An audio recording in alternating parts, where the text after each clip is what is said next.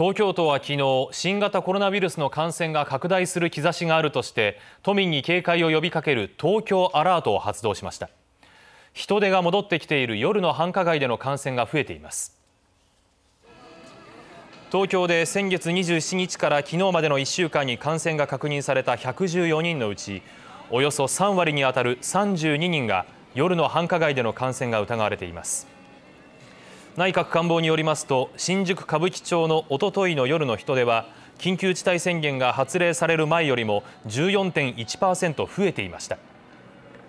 都は休業要請の緩和は現在のステップ2を維持するもののアラートが発動されている間はカラオケ店やパチンコ店などの休業要請を緩和するステップ3への移行は想定していないとしています。